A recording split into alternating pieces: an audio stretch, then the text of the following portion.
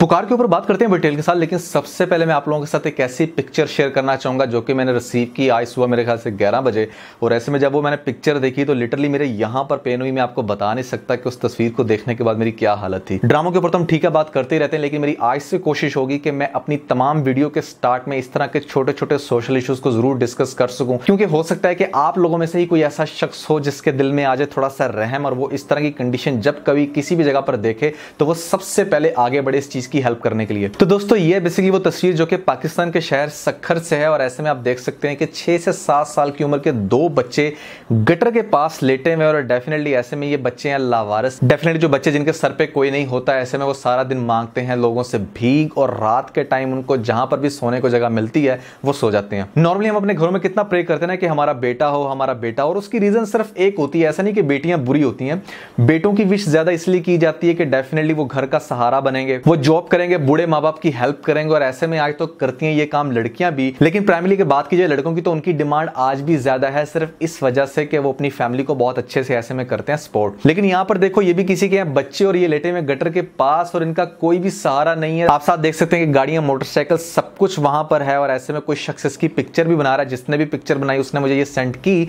लेकिन बात करने का मकसद ये है कि हमें इंसान की बिल्कुल भी कदर नहीं है। एक तरफ़ एक ऐसा इंसान जो हमारे घर में आता है तो हम उसे समझते हैं कि पता नहीं ये क्या चीज़ है, लेकिन दूसरी तरफ़ से हम अपनी आँखों के सामने देखते हैं, उस इंसान को पड़े और हम उसकी कोई भी हेल्प करना नहीं चाहते। तो मैं सिर्फ़ आप लोगों से रिक्वेस्ट करना चाहता हूँ कि आप लोगों में से ऐसे बहुत सारे लोग होंगे जिनके पास ज़िंदगी की तमाम सहूलियात होंगी, उनके पास अच्छा घर होगा, गाड़ी होगा, सब कुछ होगा, पैसा होगा, और ऐसे में जब आप कभी भी देखते हो, यार, ऐसे छोटे बच्चों को कि वो आके आपसे मांग रहे हैं भीख तो यार आप कोशिश किया करो कि आप उनको दस, पंद्रह, बीस रुपए देने के बजाय अगर आपको अपने घर में ज़रूरत है किसी मुलाजम की तो आप उनको फ़ौरन से नौकरी दे दिया करो। या अगर आप समझते हो कि आप बिज़नेस और आपका बिज़नेस बहुत अच्छा है, आपके पास एक बहुत अच्छी ऐसे में फैक्ट्री तो मैं आपको गारंटी देता हूँ कि अगर आप इस बच्चे को अपनी फैक्ट्री में हायर कर लोगे तो हो सकता है कि आपकी फैक्ट्री में पाए जाने वाले 20 से 25 साल की उम्र के नौजवान से ज़्यादा ये बच्चे आपकी हेल्प करें। हो सकता है कि आपके घर में आपकी बूढ़ी माँ और उसको सामान ला देने वाला कोई भी शख्स ऐसे में नहीं होता। मैं आपको गारंटी देता हूँ कि अगर आप इस बच्चे को हायर कर लोगे, जब तक ये जवान नहीं हो जाता, ठीक है,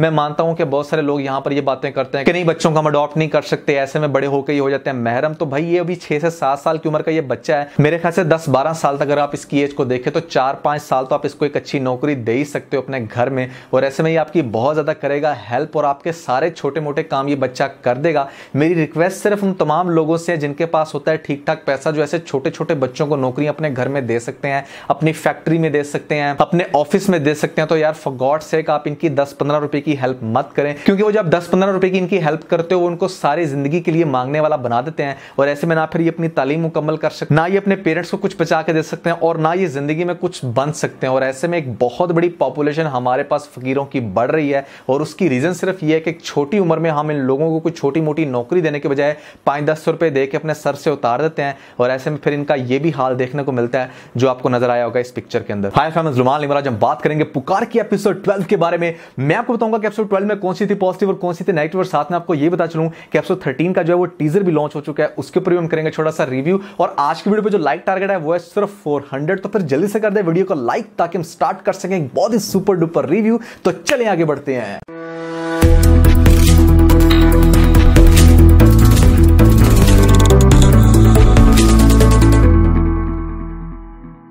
तो भाई, अगर सबसे पहले बात करें ओवरऑल एपिसोड की तो आप कह सकते हो कि जो दो मजीद हम ड्रामे रिव्यू कर रहे हैं, ये एपिसोड थोड़ी सी बेहतर थी उन तमाम ड्रामों से। आप यूँ कह लो कि अंधों में काना राजा वाला हिसाब था इसका। एपिसोड अच्छी थी, लेकिन इस एपिसोड में खास तौर पर मैंने एक बहुत ही इंटरेस्टिंग पॉइंट नोट किया, जो कि मैं सबसे पहले आप लोगों से शेयर करना चाहूँगा, वो ये कि मैं काफ़ी दिनों से नोट कर रहा था कि यार, इस ड्रामे का बैकग्राउंड म्यूज़िक एग्जैक्टली किससे मैच हो रहा है। तो जब इस ड्रामे के ऊपर रिव्यू स्टार्ट किया तो तब मैंने आप लोगों से कहा था कि मुझे ऐसा लगता है कि पद्मावती मूवी जो आई थी, उसका बैकग्राउंड म्यूज़िक से, इसका बैकग्राउंड म्यूज़िक बहुत ज़्यादा रिलेट कर रहा है। इस एपिसोड के स्टार्ट में अगेन जब म्यूज़िक प्ले होता है तो मैंने कहा, यार, एक दफ़ा इसको पॉज करके चेक तो करते हैं कि कितना ज़्यादा ये करता है रिलेट तो फिर मुझे आइडिया हुआ कि, यार, काफ़ी ज़्यादा ना इन्होंने मेरे ख्याल से इंस्पिरेशन ही पद्मावती मूवी के बैकग्राउंड म्यूज़िक से लिया चेक करें जरा।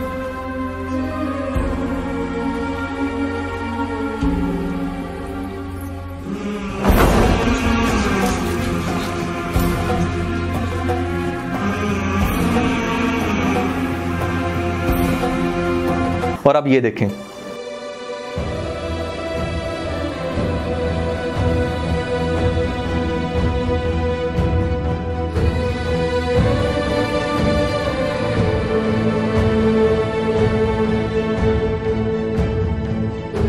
यानी कि मेल की आवाज़ को फीमेल के अंदर कन्वर्ट किया, उन्होंने थोड़ा सा और ऐसे में उसकी टोन को आगे से थोड़ा सा माइनर सा चेंज करके आपको बना दिया बैकग्राउंड म्यूज़िक आई मीन मैं कोई ये नहीं कह रहा कि उन्होंने कुछ गलत किया ठीक है, अच्छी बात है, लेकिन वैसे आप लोगों के नॉलेज के लिए कि किस चीज़ की कहाँ से इंस्पिरेशन ली जाती है, आपके सामने एग्ज़ाम्पल है. और ये बात मैं सिर्फ़ इसलिए कर रहा हूँ क्योंकि आजकल वो बड़ा कॉपी केट कॉपी केट वाला मामला चला हुआ है कि ऐसे में बॉलीवुड करता है हमारे सॉन्ग कॉपी और हमारे बहुत सारे सॉन्ग्स को डिफरेंट टोन के अंदर आपके आगे प्रेजेंट कर देता है. तो यार मेरे ख्याल से पहली बात यह है कि उन लोगों का जो प्राइमरी बिज़नेस है ना वो ही मूवीज़ है ड्रामाज है म्यूज़िक है और खासतौर पर डांस है तो ऐसे में डेफिनेटली जब आपका मेन बिज़नेस ही ये हो तो फिर एक सर्टन टाइम के बाद आपके पास अच्छे आइडियाज़ नए आइडियाज़ आना बंद हो जाते हैं। तो आप अपनी पुरानी कलेक्शन को यूज़ करो तो थोड़ा सा पॉलिश करके और ऐसे में बहुत सारे हमारे सॉन्ग्स भी यूज़ हुए हैं।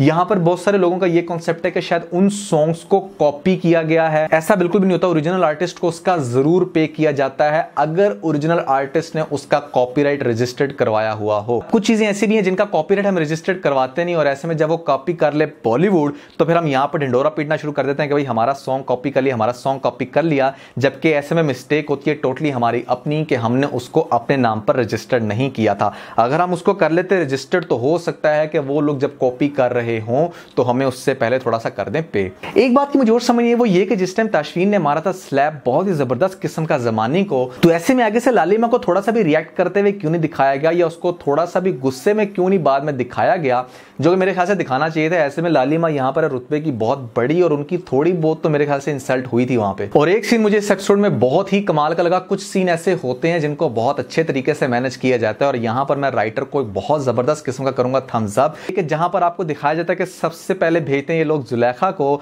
और जुलेखा ऐसे में जाकर उसका कर देती है मूड मजीद ऑफ़ और बहुत ही अच्छे एक्सप्रेशन दिखाए जाते हैं यहाँ पर समरा के। समरा डेफिनेटली जुलेखा का बिहेवियर की वजह से होती है, बहुत ज़्यादा डिस्टर्ब और बहुत ज़्यादा इमोशनल कंडीशन में होती है और ऐसे में साथ ही ऊपर से आ जाती है माँ। और माँ जब देखती है कि उसकी बेटी की ये हालत है जो कि एग्जैक्टली बताई थी लाली अम्मा ने, जिसकी वजह से वो बात बिल्कुल भी शेयर नहीं करती अपनी बेटी के साथ। और ये मेरे ख्याल से बहुत अच्छी कंपोजिशन थी। नॉर्मली ऐसा होता नहीं है, कोई भी माँ अपनी बेटी से इतनी बड़ी बात नहीं छुपा सकती। लेकिन जितने अच्छे अंदाज में पहले लालिमा को दिखाया गया, नौटंकी करते हुए, और ऐसे में बहुत ही कमाल की थी उनकी प्लानिंग जिसके बाद मेरे ख्याल से माँ के माइंड में भी एक बहुत ज़्यादा बन गया था प्रेशर के पता नहीं उसकी बेटी को कुछ हो ना जाए। डॉक्टर का प्रूफ दरमियान में लाया गया, और ऐसे में जब वो अपनी बेटी को देखती तो उसको सच में अंदर से कुछ होता है। मुझे अंदर से ऐसा लग रहा था कि डेफिनेटली अगर इसको यहाँ पर इसको ये बात बता देगी तो इसको कुछ ना कुछ हो जाएगा। बहुत ही था कमाल का सीन और इस सीन को मैं बहुत ज़्यादा करूँगा। अप्रिशिएट इस एपिसोड का one of the best scene था ये। और इस एपिसोड के इस सीन को देख के मेरी आँख से आँसू आ गए। लिटरली ये बहुत ही इमोशनल सीन था। और खासतौर पर जब वो ये कहती कि पिछले कई दिनों से मुझे बहुत अच्छी नींद नहीं आ रही, मैं बहुत ज़्यादा लेती हूँ करवटें, ऐसा बिल्कुल होता है जब आपका अपना कोई होता है तकलीफ़ में।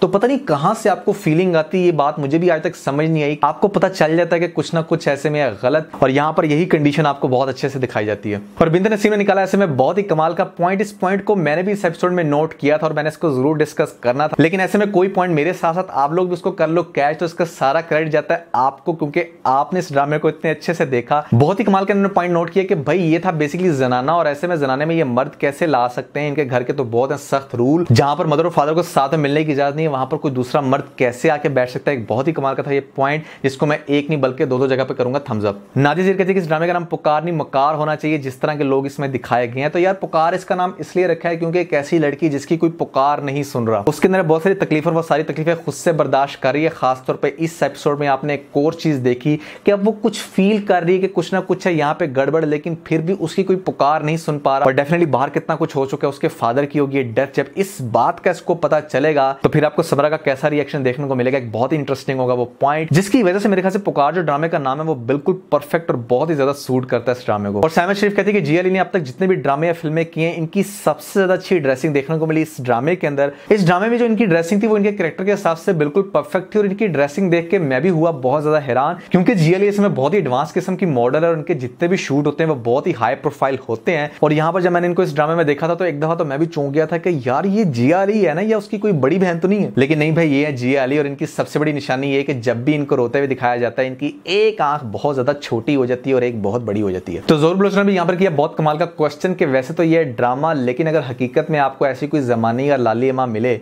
तो उसका क्या करना चाहिए? तो यार पहली बात तो यह है कि हकीकत में ऐसी बहुत सारी औरतें डेफिनेटली जितने भी ड्रामाज बनाए जाते हैं ये हकीकत से इनकी इंस्पिरेशन मिलती है। हकीकत में जो औरतें इस तरह करती है जो नौकरानी इस तरह की होती है उनका जो एंड होता है वो बहुत ही बुरा होता है। डेफिनेटली जुल्म का जो निज़ाम होता है वो ज़्यादा देर तक चलता नहीं और ऐसे में इसका इंजाम बहुत बुरा होता है। तो, कोई भी औरत अगर उसके माइंड में कभी इस तरह का कोई गलत करने का जहन में आए भी तो भाई मैं आपको सिर्फ़ इतना कहूँगा कि आपका इंजाम जो होगा वो बहुत ही बुरा होगा। आपकी ये चलाकियाँ ड्रामेबाजियाँ ज़्यादा देर तक चलने वाली है नहीं एक ना एक दिन आपकी होगी ज़रूर। पकड़ दुनिया में भी और आखिरत में तो डेफिनेटली आपकी होगी। तो ये एपिसोड बहुत ही कमाल की थी और एपिसोड के लास्ट में आपने देखा कि एक बहुत ही वाजिया आपको नज़र आया होगा चीट एलिमेंट जो कि इन्होंने अपने पिछले प्रोमो में दिखाया था। सुल्तान को बड़े अच्छे से माफ़ी मांग के मिनते करते हुए दिखाया गया था कि भाई अगली एपिसोड में ऐसा दिखाया जाएगा, लेकिन इस एपिसोड में ऐसा कुछ भी नहीं था।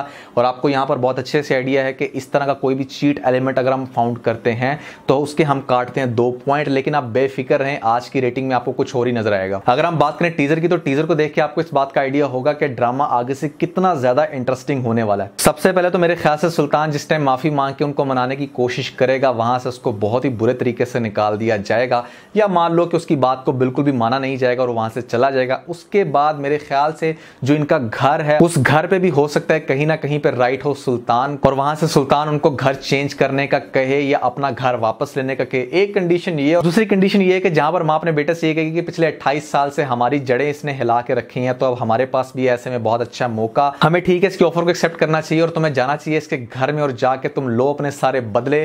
कुछ ना कुछ ज़रूर ऐसा करो जिससे हमारी जात को भी तस्कीन मिले। तो इन दोनों में से होगी कोई एक कंडीशन और यहाँ पर लाली माँ को बहुत ही अच्छे से शौक होते हुए दिखाया जाता है, जिस टाइम पता चलता है उसे इस बात का कि भाई ये तो अपनी दूसरी बीवी के बेटे को यहाँ पर लाने वाला है। समरा का सारंग के साथ बहुत अच्छे से इंटरेक्ट हो जाएगा अगली एपिसोड में। मेरे ख्याल से वहाँ पर हो सकता है कि एपिसोड हो जाए एंड लेकिन अगर एपिसोड के दरमियान में दिखाया जाएगा तो और ज़्यादा मज़ा है ऑल ये बात तो कन्फर्म है कि ये एपिसोड भी थी बहुत मज़े की, लेकिन अगली एपिसोड इससे भी ज़्यादा सुपर डुपर होने वाली है। तो देखते हैं फिर अगली एपिसोड कैसी होगी? तो ऐसा दोस्तों, आज के रिव्यू हम बात करें रेटिंग की तो लास्ट टाइम जो इसकी रेटिंग फाइनल हुई थी, वो हुई थी 8.5 अगर हम सबसे पहले बात करें मिस्टर रेटिंग यानी मेरी रेटिंग की तो भाई एपिसोड बहुत ही कमाल की थी। मुझे इस एपिसोड को देखने का बहुत ही ज़्यादा मज़ा आया, और मैंने जो इसकी रेटिंग फाइनल की थी मिस्टर रेटिंग जो मैंने इसकी फाइनल की थी, मैंने इसको देने थे अपने दो पॉइंट और मेरे दो पॉइंट मिलने के बाद इसकी मिस्टर रेटिंग 8.7 पे चली जानी थी, लेकिन हुआ ये कि इसके अंदर देखने को मिला हमें चीट एलिमेंट जिसकी वजह से वो जो दो पॉइंट है, इसके हो जाते हैं डिडक्ट तो अब जो मिस्टर रेटिंग होगी, इसकी मेरी तरफ़ से, वो होगी 8.5 ही। अब अगर इसके अंदर सबसे पहले हम इंपैक्ट डालें हैश टैग मुसलमान प्लस वन वालों का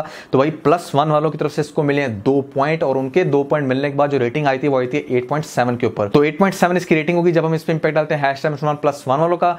अब अगर हम इसमें इंपैक्ट डालें हैश टाइम माइनस वन वालों का तो भाई माइनस वन वालों का इसका कोई भी इंपैक्ट इसके ऊपर नहीं रहा। जिसकी वजह से जो इसकी रेटिंग सस्टेन करती है, वो करती है 8.7 के ऊपर। तो 8.7 ऐसे में होगी इसकी फाइनल रेटिंग इवन देन आप कह सकते हो कि दो पॉइंट इसके हो गए इंप्रूव हो जाने थे, चार पॉइंट अगर चीट एलिमेंट इसके अंदर हमें दिखने को ना मिलता। तो दोस्तों, अगर आपको लगता है कि रेटिंग बहुत ही ज़्यादा फाइनल हो गया तो आप इसको जल्दी दिखा दें हैश टैग माइनस वन और इसकी रेटिंग पे कम का इंपैक्ट डालें। लेकिन अगर आपको लगता है कि रेटिंग मजीद अच्छी होनी चाहिए रेटिंग मजीद ऊपर होनी चाहिए तो भाई जल्दी दिखा दें हैश टैग प्लस वन और अपने ड्रामे को मजीद प्रमोट करें। जिन लोगों ने मेरे पुराने प्रकार के रिव्यूज़ नहीं देखे तो भाई ऊपर आप लोगों के पास एक लिंक आ रहा होगा, आप इस लिंक के ऊपर क्लिक करें। आपको एक बहुत ही सीक्वेंस में सारे रिव्यूज़ मिल जाएँगे, आप रिव्यूज़ देखिएगा और अपना फीडबैक मुझे ज़रूर दीजिएगा। इसके अलावा अगर आपका ड्रामे मेरे रिव्यू से रिलेटेड कोई भी सजेशन फीडबैक है तो आप एक मिनट की वीडियो बना के मुझे कर सकते हैं व्हाट्सएप या मुझे कर सकते हैं ईमेल अगर आपकी वीडियो होगी अच्छी तो उसको मैं ज़रूर शामिल करूँगा अपनी वीडियो में। अगर अब तक किसी ने नहीं किया था तो हम करेंगे पाकिस्तानी ड्रामाज को प्रमोट और बता देंगे इस दुनिया को कि पाकिस्तानी ड्रामाज दुनिया के सबसे अच्छे ड्रामाज हैं। तो आज के बस इतना ही। अगर आपको इस वीडियो के अंदर कोई एक पॉइंट भी अच्छा लगा तो आप इस वीडियो को लाइक ज़रूर कीजिएगा